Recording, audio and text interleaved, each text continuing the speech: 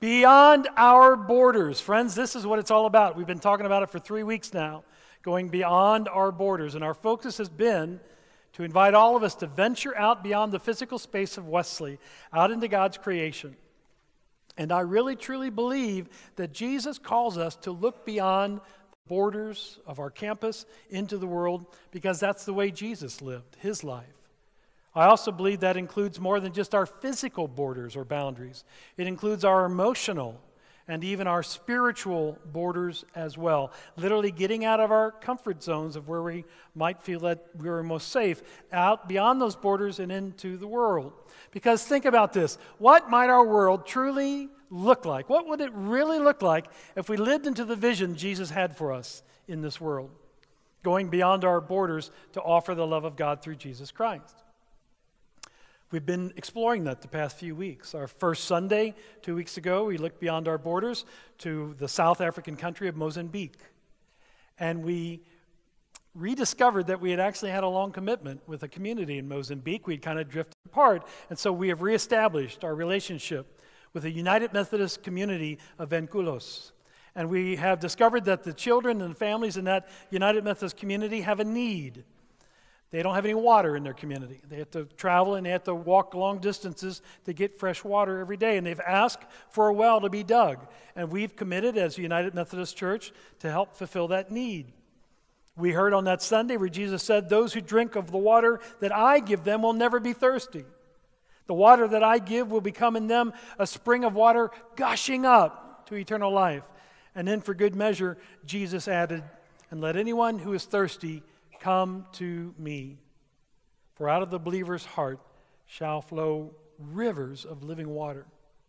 And so we're taking those words to heart. We're also taking them literally. We've made a commitment now to provide before the end of this calendar year, before December 31st, the funds that are needed to dig a well, to provide fresh water for our sister community, to provide water for the Vilanculos children and those families so they can have vibrant, healthy water literally at their fingertips. And our gift of love will change lives. As I said two weeks ago, what a great Christmas gift. Amen? And to think it all began when we looked beyond our border.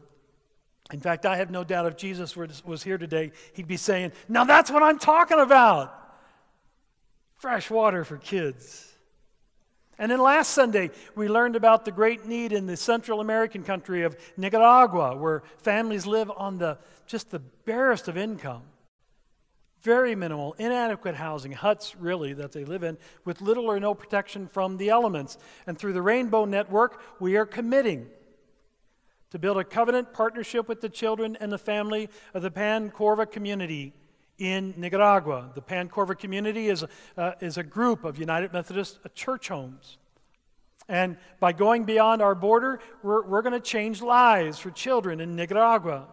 In fact, Pastor Stacy and one of our church members, Megan Munslinger, who also works with the Rainbow Network, they're going to lead a group from Wesley the first of next year in 2017 to help rebuild our relationship with the Pan Corva community. And if you want to know more about that, we're going to be providing a lot of information in the weeks ahead. And then today, in these worship experiences, the Children of the World Choir has truly blessed each and every one of our lives with their phenomenal voices, the beautiful gift of their singing. And this morning, we have an opportunity to bless others far beyond our border with the special gifts that we have given to the Children of the World International Rescue Project. What our gift will provide today is funds to reach out to children who are being rescued and treated to restore their lives because they've been suffering from um, living on the streets, drinking dirty water, malnutrition, and just living in, in poverty. Our gift this morning is a life changing experience, not only for us in our giving, but in the children that will be receiving, merely because we're willing to go beyond our border. So, why even go beyond our border? I'm glad you asked that. Because truly, Jesus told us to go. When we look in the Gospel of Matthew, chapter 28, Jesus very clearly instructed his, his followers to go out into the nations. In another gospel, Jesus said in Mark 16, he said to all Christ followers, Go into the world. Go beyond your border, the confines of where you live, where you feel comfortable. Go into the world. And so, following this example, we have chosen to go beyond our border into God's world, remembering those wonderful words that's proclaimed in the Gospel of John 3:16. We go into the world because God loves the world, and we love the world. God so loved the world, in fact, that God sent God's only begotten Son, only created Son, and whoever believes in him will never perish but have eternal life. Because God did not send Jesus into this world to condemn it, but that the world might be saved through him. It's important to really understand what this scripture means. Do we fully understand the ramifications, the implications of this biblical promise from John 3:16 and John 3:17. What it really means is God created not for God's own amusement, but out of love. God has created all that we have ever known and know and, and will ever know. God is the supreme power of everything. We call that omnipotence, God's all powerfulness. As people of faith, we believe that there exists nothing greater than God and the power of God. And when we think about how powerful God is and how, how vast all of creation is, from the very center of the planet on which we live and beyond our border into the reaches around the world and into the galaxy and all into infinity, it was all created by God. That's amazing. God has made it all. And it all truly belongs to God. We merely have a privilege to be stewards, to be caretakers of what God has given us. No matter what generation we are in, whether you're young or middle aged or old, we have a responsibility to take care of what God has entrusted us with.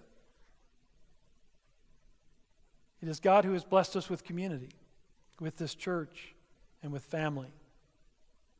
So, how fitting in this week ahead as we begin to gather families to ask the Lord's blessing, as we begin this week of Thanksgiving, pausing from our labor and, and as the families gather and probably way too much food is, is prepared and prayers are offered, how fitting it is that we should give thanks to God for all that God has done, to give God all the praise, all the thanks, all the glory, and for all the many blessings in our lives. Amen? Because God so loves the world and everything that's in it people of all ages and shapes and colors and sizes and beliefs and non beliefs, people that do the most awful things and say the awful things, and people who try every day to live as godly as they can. God so loves the entire world that God sent us a gift. And the gift is His Son, Jesus Christ. And He sent us the gift of Jesus so that Jesus could teach us how to live and how to love one another. And all who believe in what it is that Jesus offers, which is supreme divine love and, and salvation, will never experience spiritual death. Hmm. But indeed will have life eternal with God. We don't know what that's like yet. It's a very mysterious yet profound experience we've not yet been revealed to us. I really am thankful for all that God has done in my life. I'm so very thankful. And so, as we prepare in a few days to experience and observe a, a, day of thanks, for what are you thankful? And I want you to just speak it out loud right now. For what are you thankful? Hmm.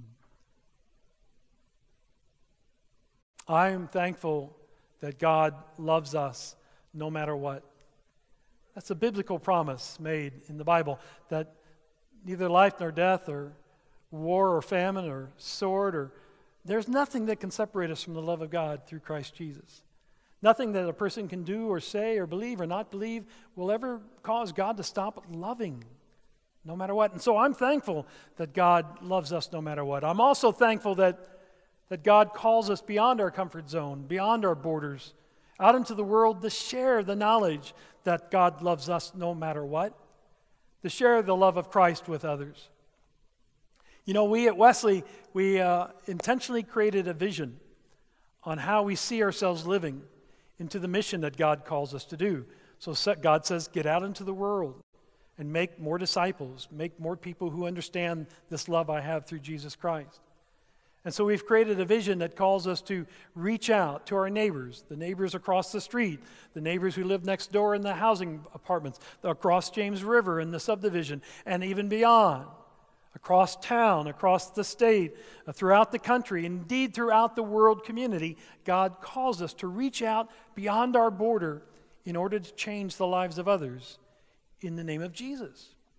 I think that's a privilege to be able to change this world not in my name, but in Jesus' name. And so we're living that out in our own community of reaching, building, and connecting through things like our community garden. I can't talk enough about this community garden and this group of wonderful human beings that said, We get the new vision, and here's how we're going to reach and build and connect is through a garden on our campus here. And so in our first year alone, we just started it spring of this year people came together, not only Wesley people, but community people came across the uh, Republic Road and dug in the dirt together and planted seed. And after a, a fine season, we've now harvested more than a ton and a half of food, all of which has been donated, all one and a half tons, to a local food pantry to be given away free to people who are in need. Other ways that we are reaching, building, and connecting, going beyond our borders, is we've had events on our lawn this summer. I don't know if you've noticed. We had a huge spring event right around Easter. We had a, a big fall event. We even had a movie night out there where you come sit on the lawn and watch a movie. And it wasn't for us, we were the hosts, it was for our community. Anybody that wanted to come. Next summer, we're really going to go beyond our comfort zone and beyond the border of the walls of this church as we offer vacation Bible camp out on our lawn. And it's going to be wonderful. Our reaching, our building, and connecting has been demonstrated through going beyond the borders of this church to York and elementary, uh, Campbell Elementary Schools, offering ministry there. Going beyond our borders to support the downtown church as it grows, uh, helping with Crosslines, Harmony House, Ozark Food Harvest, Rainbow Network, Rare Breed, Well of Life, our Mission Blitz that we do every year, Northwest Springfield, and so many more things. As we get beyond our border, or beyond our boundary, beyond our comfort zone, in the name of Jesus Christ.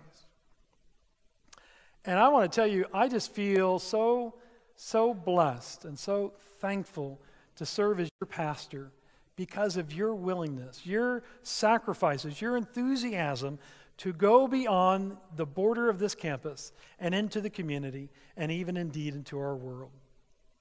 But here's the good news our work has just begun. We have a lot of phenomenal ministry planned in all the time ahead. As we go beyond our border to Mozambique, you know, we're going to get that well dug. I can't imagine what it's going to mean for those children. I can't wait to see pictures of these families that have access to free, fresh water because we have been blessed and we're willing to be a blessing to others in Mozambique. And we're just now learning how we can change the lives of children in Nicaragua as we help with a family down there and the families of Pancorva and change their lives, blessing them from the blessings that we received. How we're changing the lives of children, the Children of the World Rescue Project this morning, giving of ourselves in order to make a difference in the lives of children. We really can make a huge difference in this world in Christ's name. And I think the best way to express our, able, our ability to bless others from the blessings that we have received is to thank God for those blessings. Thank you, God, for blessing me in such abundance that I can bless others. What a privilege. That I can be the hands and the heart and the feet and the voice of Jesus in today's world. One of my favorite passages in the Bible comes from the Psalms, Psalm 138. It's a longer psalm. I'm not going to read it all. I invite you to get out your phone and look it up, or when you get home, look it up. Psalm 138, it opens with these simple words I give you thanks, O Lord, with my whole heart. And I hope as we begin to look at Monday, Tuesday, and Wednesday as we prepare for a, a day of rest on Thursday, a day of Thanksgiving, that we will all give thanks to God with our whole heart. I know you might be experiencing things in your life right now and you think, well, maybe Thanksgiving week, I'm not sure I can be thankful. Some of you have experienced illnesses or broken relationships or deaths or illness, just all those things that, that come at us and we think, I don't know if I'm thankful. I don't know. We can always be thankful to God. For the very least, for this church community, for the boldness to go beyond the confines of this church into the community, for the sacred breath that God gives us each and every day. No matter how dark our lives may look, there's always hope. Hope that we can change lives of each other and the lives of children through the simple act of generosity and prayer and love. There was a fellow named Henry Smith. He's a writer. And uh, several years ago, he was going blind. He had an illness, irreparable damage, and he was going slowly going blind. And he was a lyricist. And so he wrote the words to a hymn that are very familiar to most of us. As he was going blind, he wrote this hymn of thanks to God. Here are the words that Henry Smith wrote Give thanks with a grateful heart. Give thanks to the Holy One. Give thanks because he's given Jesus Christ, his Son. And now let the weak say, We are strong. Let the poor say, We are rich because of what the Lord has done for us. Give thanks. Give thanks. Will you pray with me? Lord, we give you thanks for the sacredness of life, for the opportunity to step into Jesus' shoes and be his heart, his voice, his hands, his love in this world. God, we pray, Thy kingdom come, Thy will be done.